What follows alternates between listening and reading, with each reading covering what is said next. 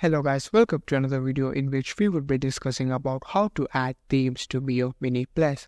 Are you having trouble adding themes to your Miyoo Mini Plus? Don't worry, in this video we'll help you find a solution for it. Just follow these easy steps. Step 1. Power off your device. Begin by powering off your Miyoo Mini Plus.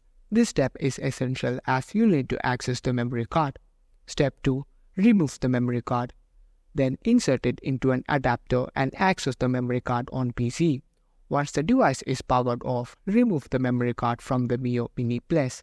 Place the memory card in an appropriate adapter and then insert it into your PC. Open the memory card on your computer. You should see the Onion version 423 folder.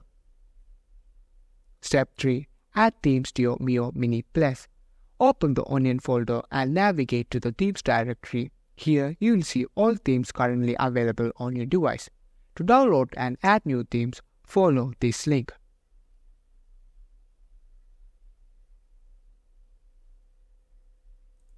This link will direct you to the official Onion GitHub page where you can find various themes, browse through available themes and select one to download.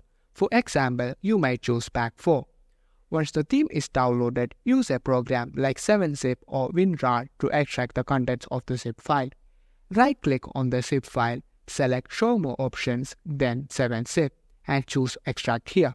This will create a new folder with the theme's content. Step 4. Apply the new theme. Cut the newly extracted theme folder and paste it into the theme's directory on your memory card. After copying the theme, safely remove the memory card from your PC and insert it back into Miyoo Mini Plus. Then turn on your Miyoo Mini Plus. Once it has booted up, navigate to the App section. Scroll down to the themes in the App section. You should see all the available themes including the one you just added. Select and apply your new theme. Thank you for watching.